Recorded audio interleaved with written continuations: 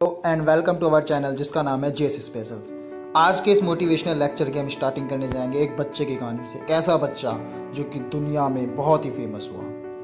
ये बच्चा काफ़ी गरीबी फैमिली से बिलोंग करता था। इसके पिता एक मल्लाह थे। मल्लाह मतलब जो नाविक होते हैं, जो नाव में बैठा के सवारियों को एक स्थान से दूसरे स्थान पर ले जाते हैं। तो फैमिली इनकम ज़्यादा ना होने के कारण इसको भी कई बार अपने पिता के साथ काम करना पड़ता था।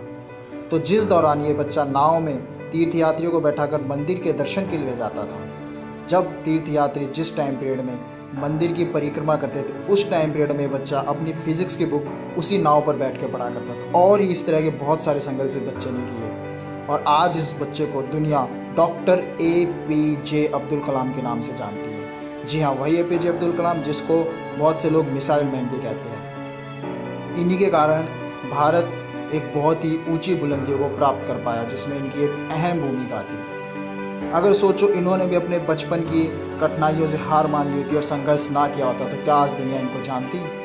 ऐसे ही दुनिया में और भी बहुत से महान व्यक्ति हैं, जिन्होंने अपनी कठिनाइयों के सामने घुटने नहीं टेके और संघर्ष किया और सफलता हासिल की और आज दुनिया उनको जानती है। तो कठिनाइयाँ हर किसी के साथ आती है। आप ये मत सोचिए, कठिनाइयाँ सिर्फ़ आपके साथ है। कठिनाइयाँ तो हर किसी के साथ आती है, लेकिन महत्वपूर्ण ये हो जाता है कि आप उन समस्याओं का, उन कठिनाइयों का किस प्रकार से सामना करते हो। और अगर आप उन पर सफल हो जाते हो, उस संघर्ष में आपकी विजय होती है, तभी आपको दुनिया जान पाए इसलिए हमें कभी कठिनाइयों से घबराना नहीं चाहिए। और हमेशा हमें ये बात याद रखनी चाहिए कि हमको जाना कहाँ था और हम पहुँचे कहाँ हैं और हमें किस डायरेक्शन में आगे बढ़ना चाहिए। इसलिए जब भी आपको लगे कि मेरे साथ ही ऐसा क्यों होता है तो इन महान व्यक्तियों की तस्वीर एक बार अपने जहन में ज़रूर याद कीजिएगा, ताकि आपको पता चले कि इन्होंने कभी हार नहीं मानी, इसलिए महान बने। और अगर आज आप भी हार नहीं मानोगे तो ज़रूर एक न एक दिन आप ज़रूर सफल होगे।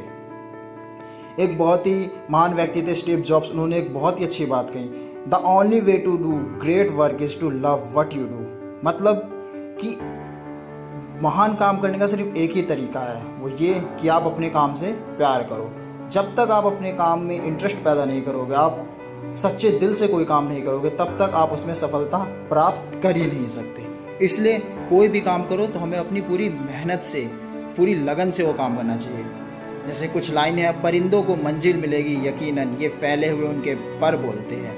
परिंदों को मंजिल मिलेगी, यकीनन, ये फैले हुए उनके पर बोलते हैं। अक्सर जो लोग खामोश रहते हैं, जमाने में उनके हुनर बोलते हैं। इसलिए हमको लगातार अपने ऊपर वर्क करना चाहिए।